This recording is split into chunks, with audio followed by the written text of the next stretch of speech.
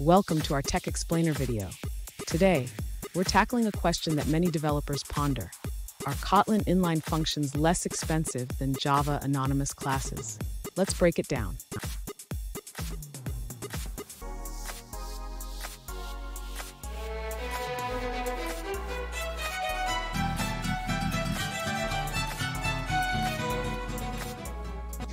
Welcome back to another tech video. Today we're going to be going through your question, answering it, and hopefully finding that solution for you. Guys, remember to stay a little bit crazy like me and find that resolution.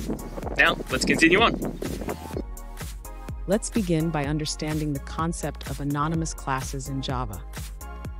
When you create an anonymous class, like a listener for a button, Java compiles it into a separate class file.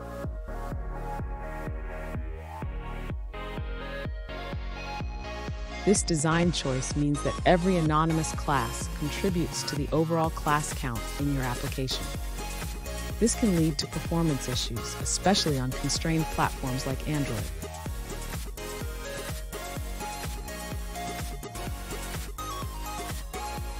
Now let's compare this with Kotlin. In Kotlin, functions are first-class citizens, meaning they can be treated like any other variable. This allows for a more functional programming style.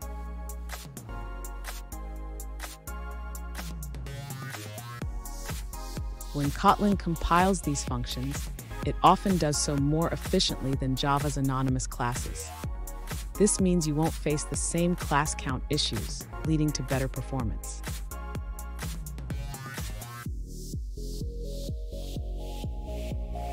In summary, Kotlin's inline functions are generally less expensive than Java's anonymous classes, making them a better choice for a functionally driven codebase.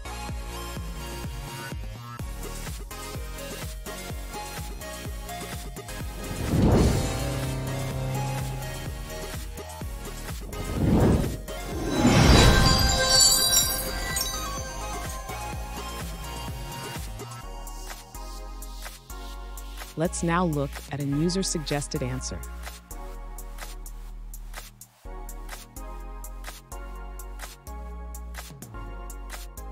Kotlin's inline functions can be more efficient than Java's anonymous classes.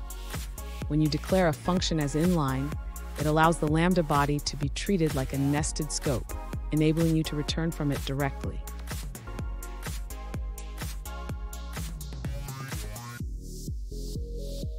Using inline functions can eliminate runtime overhead associated with higher order functions, such as memory allocations and virtual calls.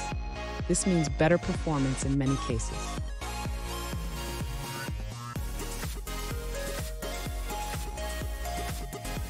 However, this performance boost only applies to functions explicitly declared as inline.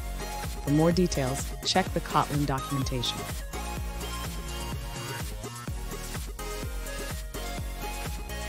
And that's it.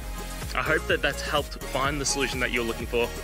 And if it did, please, I'd appreciate it if you hit the subscribe button. Every time you hit it, it really helps. Now, I'll see you next time, next time you need some technical help. And until then, have a good one.